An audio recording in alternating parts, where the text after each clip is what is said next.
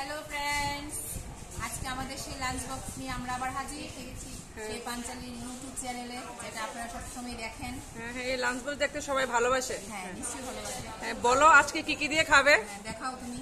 হ্যাঁ এখান থেকে দেখাই। শুরু করো। হ্যাঁ। বেগুন দিয়ে। হ্যাঁ বেগুন দিয়ে। এটা হলো পটল আলুর ঝোল এটা হলো পনির তরকারি কাবলি চানার তরকারি ঝিঙে এটা হলো কচুর শাক এটা পাঞ্চালি হ্যাঁ এটা রেসিপিটা পেয়ে যাবেন রেসিপি চ্যানেলে আছে। আর এটা হলো মাছের তেল দিয়ে বেগুন দিয়ে আর এটা হলো কাঁচা কলার বড়া দিয়ে। হ্যাঁ সাথে কি আছে? সাথে কিন্তু ডিমও আছে। এখানে ডিম আছে এখানে ডেকের শাক এটা আমার বানানো এটা কুমড়ো পাতার বাটা। ঠিক আছে। এখন সবাই এগুলো শেয়ারিং করে খাব আর এনজয় করুন। দেখে দেখে এনজয় করুন। হ্যাঁ লাস্টে লাস্টে কি বলতে হয় একটু বলে দাও।